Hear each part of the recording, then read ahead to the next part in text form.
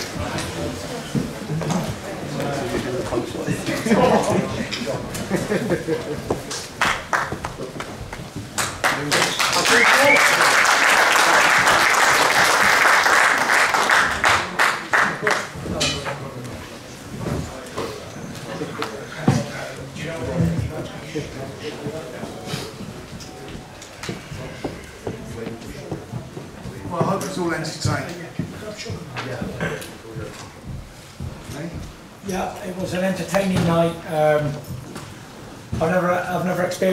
atmosphere like that before. It was that good. I messed up all my ring walk that we had planned. I started running to the ring. I was excited. I lost it. I lost the brand completely. I was like, I'm going to sit down on this chair, whatever. Um, Frank, massive, massive thank you, Frank. Um, a lot of people don't know, but Frank brought me back from the brink of death and believed in me and gave me a big contract to box again um, when everybody else was probably scared to get me in the ring again. So, uh, massive thanks, Frank. And not only did he do it this time, but he done it the first time as well. Um, he got me to fight with Joey Abell, Derek Chisora for the mandatory position, which it led me to fight Vladimir Klitschko. Here And then- we come to save then he, the he, he brought me back again from, from being like a fat man, 28 stone, to, to get me the, the return of the Mac in Manchester, which was absolutely epic, 20,000 at home. From being a big old fat boy six months before to selling 20,000 tickets. And, you know, it really was the return of the Mac against Sefa. Nobody believed, did they, Frank? And then when he announced that we're going to go to Belfast and we sold 35,000 tickets at the, um, the, what was it called? Uh, something park, Windsor Park. Um, and I didn't have a great performance against Francesco Pianetta because I wasn't even there yet. I wasn't even ready. And then I said, do you know what, Frank? I was supposed to have a couple more fights, Frank, wasn't I? Yeah, two more. supposed to have two more same level as Pianetta and Sefa. Um, I said to Frank, you know what? Get me Wilder because I can't do this. I'm either the best in the world or I'm not. And he's all here to call me a liar. Um, and I wasn't, I'll, I'll I hold my hands up to this. I wasn't ready for Deontay Wilder the first time. It was too quick. Um, but we took it anyway because I'm a fighting man. Uh, I wanted to prove to the world that I'm back with a bang. We had that great fight over there, Frank, and you know, it's gone on from there really. Uh, it's just got bigger and bigger and bigger. It's been like a snow, a big snowball rolling down a mountain, um, and it's peaked out here at uh, at Wembley Stadium. And Well, a European record. Unbelievable. and you know, a big shout out to Top Rank and uh, Brad, uh, Todd, Bob, everybody else in the office over there. Um, they made it happen in America, in the home of the Gypsy King, Las Vegas. Uh, you know, made some big, big nights happen with the Wilder 2 fight, Wilder 3, Schwarz, Wallin. Um, it was unbelievable, you know, they treated me like a superstar. Um, I went on an American voyage to crack America, conquered America, so to say. Um, and I, I was brought back to England to a hero's welcome. And, and what a welcome I had tonight from uh, 94,000 of my fellow countrymen. Um, it was fantastic. So, you know, I was here at the press conference only a few weeks ago on my own when it all started and single-handedly sold out 94,000 tickets and I don't believe there's an entertainer in the world in sports on his own can sell 94,000 tickets without even an opponent. So yeah, I'll pat myself on the back for that. I think the proof is in the pudding. How many people, how did the cheer he got when he came into the ring that Tyson got. Yeah. They were Tyson fan, Tyson's fans, all of them. And if you, even the couple who may not be, they certainly were, were by the time the fight was over. It was a phenomenal performance. For me, he is without a doubt the best heavyweight of his generation. He would be a great heavyweight in any generation. And he's the best, I've got to say it now, probably the best fighter I've ever been involved with.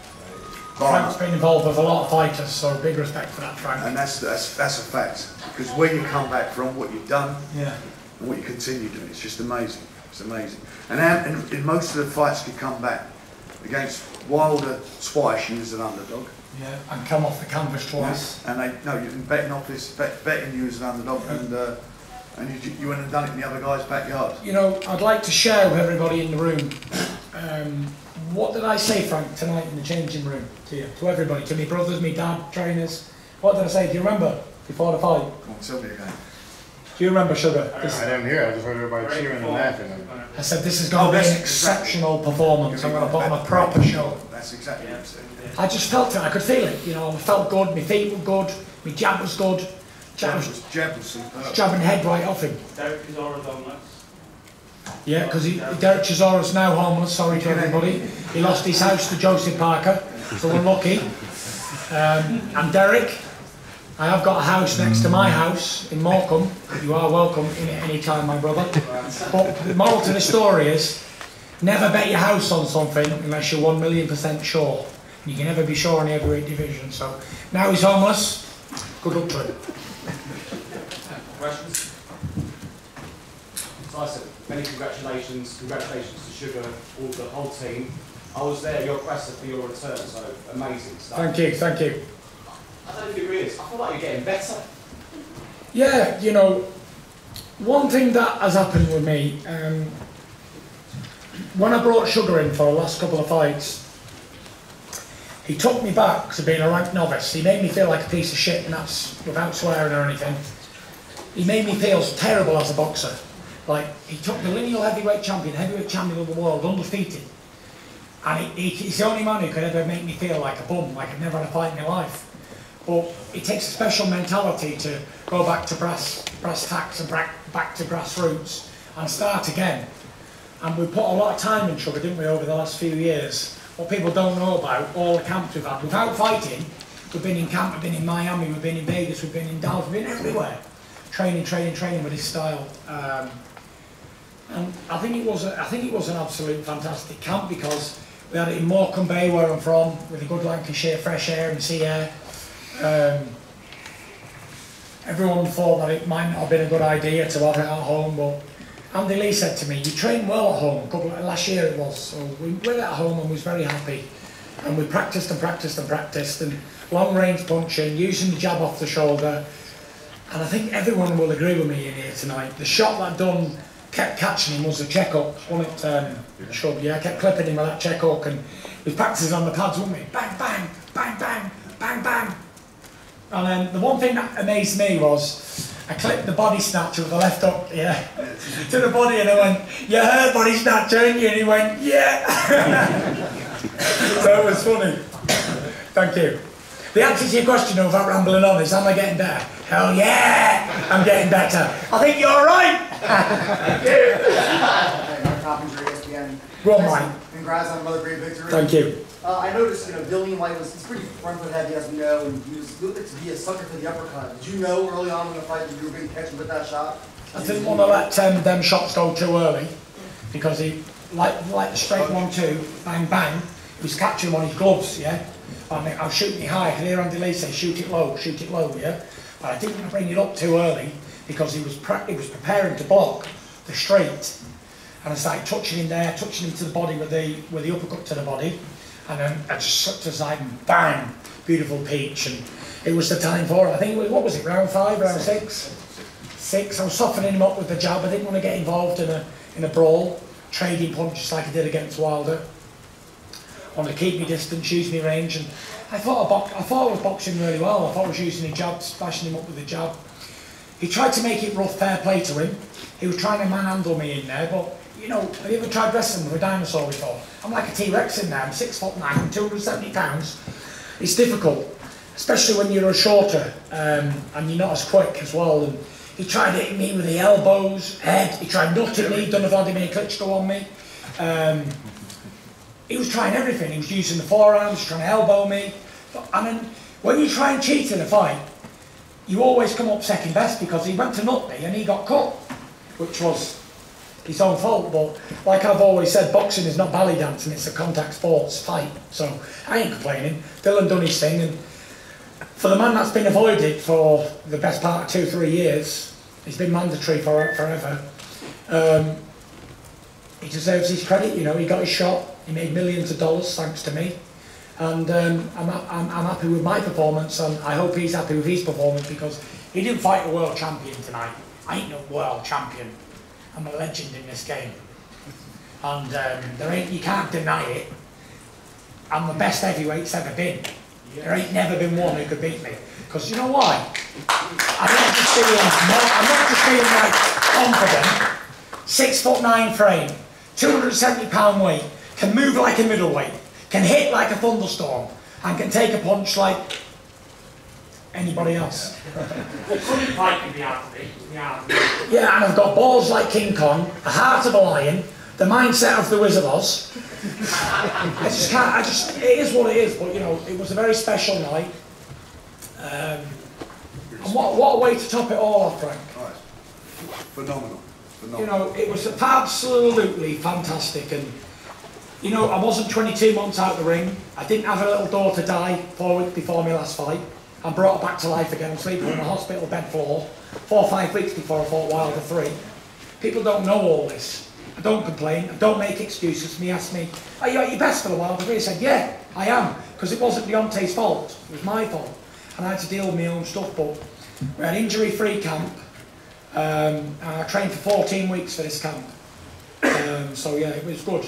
I felt good. I felt fresh and I felt I felt sharp and the performance told it all tonight. Superb. And as you said, you look unbeatable right now at the moment. Uh, you're on top, obviously, the best heavyweight in the world, an all-time great. And I know adrenaline's running high right now at the moment. So what will go into your decision as you move forward and take some time and clear your head to see what you will do next going forward? Yeah, you know, I'll tell you this one for free. Before I fought Deontay Wilder three, I was in my house in Vegas and I said to Paris, I said, this is going to be the last fight, babe. I, I just don't want to do it anymore. And she said, yes, I'm happy. Let it be the last fight.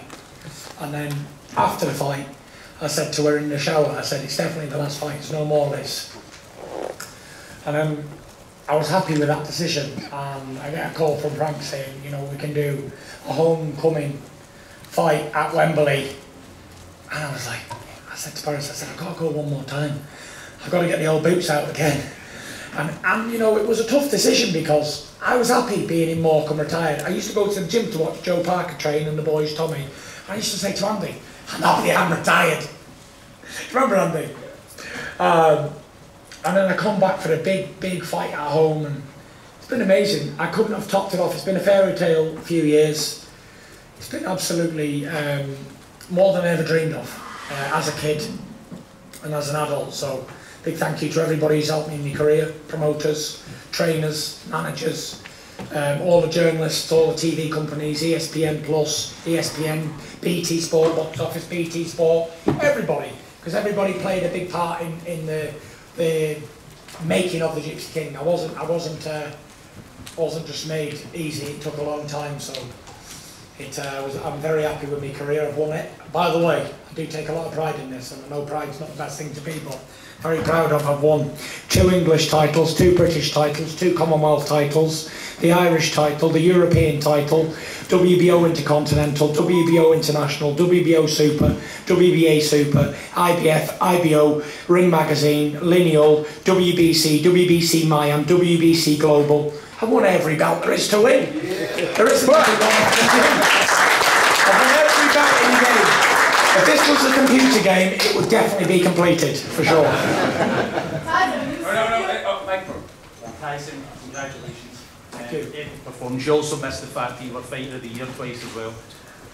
I got Fight of the Year twice, I got Ring Magazine Fighter of the Year, I got Upset of the Year, I got Comeback of the Year. I don't think there's a one I haven't won. I got Round of the Year, and I almost won Inspiration of the Year as well. Yeah. So, yeah, Um, not too shabby. Obviously, you're, you're reigning Ring Magazine and WBC champion just now. There's a lot of retirement talk, but surely you're going to hold on to your, your championship belts at least for another six months. When it gets to um, Usyk against Joshua 2, there's going to be calls for you to fight the winner of that fight. Will you dismiss it? Will you take your time to think about it? You know what? I've said what I've said, um, and I'm happy with my uh, decisions. Uh, I'm going to go home with my wife, my kids. Spent a lot of time on the road. I've been I've been away a long time. I've, I've fulfilled everything I've ever wanted to fulfil. I- I'm going to retire as the only second heavyweight in history after Rocky Marciano to retire undefeated. Two-time Ring Magazine heavyweight champion of the world. There's never been a Ring Magazine holder in my era, not one of them, and it hasn't been a lineal in my era either, because all roads led to the Gypsy King, and I was unbeatable in at this game. Is that final? Final? I definitely think so. But I'm not ruling out, I will not rule out exhibitions, for sure. Get some of that Floyd Mayweather money. Um, you know, I want to have fun. You know, I'm an entertainer. You saw tonight, I entertain. It's what I do best. I'm an entertainer. Um, so I want to have a lot of fun. You know, Big Francis Ngannou was here today. He's on my hit list in an exhibition fight, however he wants it, in a cage, in a boxing ring, boxing gloves, UFC gloves. We can make it happen. I think everyone wants to see he's a monster of a guy. I'm a monster of a guy, so it'll be a clash of the titans for sure. Thanks. Thank you. Tyson, this is Matt for Into Boxing. Yep. First off, congratulations. Um, second of all, um, with everything you've achieved in your career, where does that entrance of coming out from a 94,000 people rank? Because you must have to pinch yourself. You've been away to America, Yeah. you've come back. Did you did you expect this when the fight got announced? that was the icing on the cake, you know. And the ring, the ring walk, um, music and thing was was planned. It was something that I wanted to do. Um, very, it means a lot to me that song, uh, the Big Small song, because it was just a dream. It was all a dream, um, and it all come to reality. So it was um, it was unbelievable. It was just an amazing night. Ring walk was very special to me. Um, I got lost in ring walk actually. I started running, and screaming and jumping. I was on fire tonight. I really enjoyed myself and um, it was phenomenal. You know, the fans were amazing. Everybody, the whole thing, the whole show was amazing. I could, if you could have planned a perfect show, perfect ring walk, perfect entrance, perfect fight, I couldn't have planned that any better. Look at me. I don't. I'm not looked in the mirror, but I don't feel like there's a mark on me. I never took any damaging blows. I've got out of the ring in one piece, like I said to God in the beginning, when I was there. I said, let both men get out of the ring in one piece. Dillian's up. Hopefully he goes home to his family in one piece, and he does. And we can both both go home and enjoy our uh, spoils of war. That's what it's about. And that lady there, that's three times, so I'm going to come to you next. Fire away. Tyson, congratulations. Thank you. I heard you say you're at your happiest when on the ring, and you're getting paid to for doing something you absolutely love, and Yeah. you would do it for free anyway. Yes. So, first of all, how does it feel to be in this position? What are the qualities that allowed you to be above all other human be that, being that try to defeat you on the ring? And also, are you really sure you're ready to give up the adrenaline, the lifestyle, and the ring to retire right now? It, was absolutely fantastic. You know, I feel at home in that ring. I feel like a, a dolphin in the, in the water in that ring. Um, it's what I do best. It's what I was born to do. You know, people are born and they never find a calling card. Some people do, some people don't. But I really do believe that I was always meant to be heavyweight champion of the world. There's nothing else that I was ever going to be. From being a little boy, I was always destined to be the heavyweight champion. I there was nobody that didn't believe it. My family all believed. So it was um, been a very special career to me. Very special. Tyson here. Um, WWE have announced the UK pay-per-view show in September in Cardiff.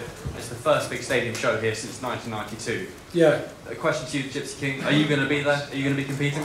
Sorry, can you say that again? Because I misheard you. Um, the WWE Yeah. announced a UK pay-per-view show Yeah. um, in September in Cardiff. It's the first big stadium show here since, Since 1992, yeah. Are you going to be there? Don't rule me out of fighting now. Um, you might see me at SummerSlam coming up soon. I got to speak to Vince and the boys. Maybe make this happen. I know there's Drew McIntyre's been saying a lot of things about me. I have to knock him out, like I did his pal. Um, you know, I'd I'd love to be at Cardiff. I'd love to be back at, back in the centre stage in the UK, um, especially for the wrestling. I enjoyed it last time in Saudi Arabia. It was it was fantastic. So to come here and do it would be phenomenal. Um, and I'm gonna we're definitely gonna make a bit of contact and, and see can we make that SummerSlam thing a reality. What did you think when being live after? I didn't think much of it, to be fair. Um, it, did it confuse me? No, because I did it straight back to him in round two. I don't know if you noticed that. it was like he came out southpaw, I come out southpaw. It was different. And I know Dylan was never going to stick to a southpaw for the full fight because he doesn't do that. It, it was good, you know. Dillian was a, a tough man. He took a lot of punches, good punches to the body and head, good jab breaking him up. Um, strong man, big, tough, strong man, but the range, my range is, is, is very special. I can keep him at that range. And if they walk into me, he started to. Andy Lee was saying in the corner, he's gonna, he's gonna chuck it all away and he's gonna come straight at you because he, he's gonna, he's gonna get impatient. And Sugar was going right. What Sugar said to me around five? He went, "I want you to break this mother beep beep beep up." He said, "Unload on it." He said, "Hit him to the body with that right hand and hit him to the top with it. Let him have it. Wasn't you sure? Send it straight down the middle." He was going. And I, and I think it was around five, around five, I hit him to the body, bang, with a left hook, and I hurt him.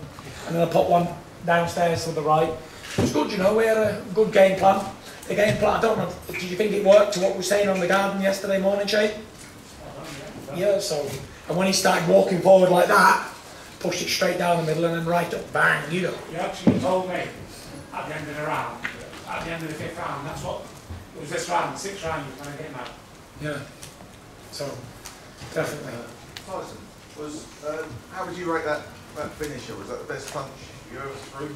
And was, and possibly the last, obviously. I threw some good punches in my career, but it was definitely, definitely Wembley Stadium showstopper, wasn't it? Big right uppercut. I think Lennox Lewis could definitely be proud of that. Um, it was definitely a uh, great shot, and I was very happy with referee Mark Lyson. He'd done a fantastic job because if he would have allowed it to continue and me to storm into him hit him with two or three more, he may have been in some serious trouble. So, big shout out to the ref, and he made the right call there. Fantastic uh, call because he was all over the place. I was actually concerned, even though I just chinned him, that it may have been allowed, and I was a no ref, don't let me go on because I had to take him out. I would have had to plough into him again and hurt him, and I didn't really want to do that. But the referee made the right decision, and, and that was it. Time and time again, the people that do write you off, you prove them on, uh, prove them wrong. Just a message to them. I know, you know, it won't bother you, but just a message to the people that do continue to doubt You know. I don't think they doubt me. I think they love me. 94,000 at Wembley, the biggest crowd ever in this in this country, in Europe. Um, you know, people don't doubt me. They love me in this country, and I love them. 94,000 of my fellow countrymen and women packed in here tonight, spent their hard-earned money on tickets, and, and I, I am um, I'm overwhelmed with the support I've had. You know, 10 years ago, I, I couldn't sell 10,000 tickets. Even when I went to, to Germany, I was the underdog to fight Klitschko in his own town. I was like, I've always been the opponent. I've been on the road fighter, a bit like um, Marvin Hagler, road warrior. Just give him a pack, send him over there, send the big Jippo in, get in. And he goes to Germany, beats Vlad, goes to America as an opponent. I'm always in the away corner as well. And then it was about time I got my just desserts as the, uh, the home fighter against Eric Chisora twice. I was the away fighter. I've been the underdog my whole life. I'm still the underdog. Look at me, I'm fat as, I'm fat as anything. But um, the old fat boy can fight. Um, and you know what it is, no matter how many times people put you down and write you off in life, never pay attention to it because it doesn't mean anything.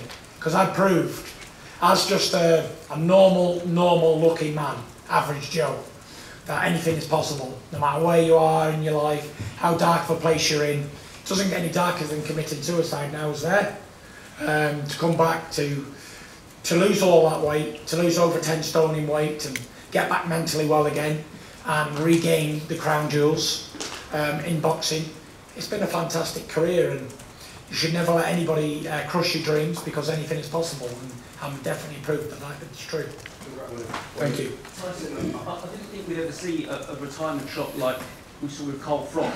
Uh, and he's always said that finishing his career like that with one unbelievable shot at Pat Wembley made stepping away easier. Do you think that will be similar with you? That it was just such a perfect ending, a walk away knockout? You know what? If it, it was a knockout, and I was very happy with the knockout, but if it would have been a 12 round points decision, I would have been happy with that. And for me, it's not, it's not about anything else but getting the W. It's always been about getting the W. Um, and lately, we found out that the big GK is as strong and as powerful as any heavyweight that there's been.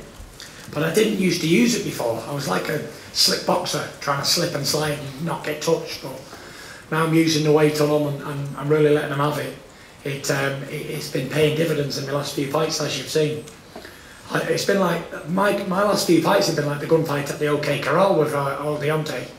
Um, but with Deontay Wilder, you can't try and box him. You can't outbox him because if you outbox him for 12 rounds and he lands one punch and you wake up on the floor, it's pointless. So you've got to drag him into a fight.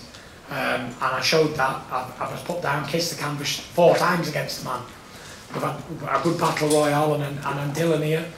Everyone thought he was a, um, a dangerous man. Well, he was, but I uh, showed I was, I was levels above that.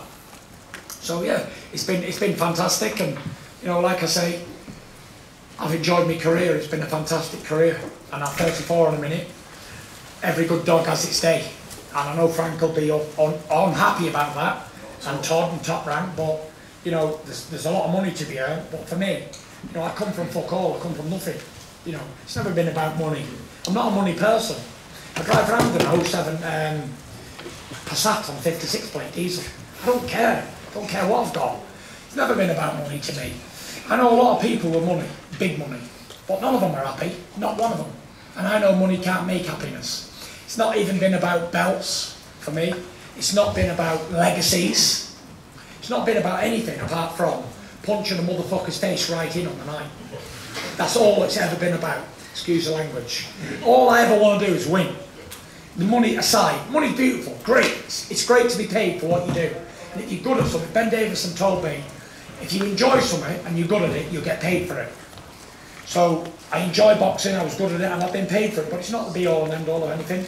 I could end up in a council flat at any time, don't worry about that. Um, so it is what it is, and would it change me as a person? No. Do I need a mansion and a Rolls Royce? I don't. I've got them, but I don't need them. But it doesn't, doesn't make of you as a man. You, a man is what you are in here. And if you're a good person in here, and you've got fuck all, you'll do for me. But if you're a millionaire and you're horrible, I don't want to know you. Because I've only got time for good people.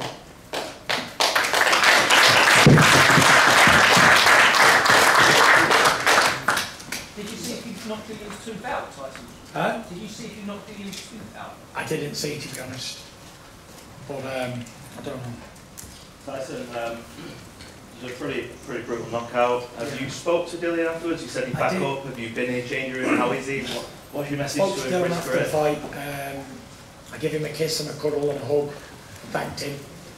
Um, and I told him, I said, you'll be a world champion, Dylan. Um, but tonight you just had to meet a great in the game and that was it. Um, he, he come and give it his best. No, listen, there's no embarrassment losing to a better man on the night. At least you got the guts to go in there and have a fight. People will say, oh, Dylan Whyte was shit. They'll say this and I've seen them. People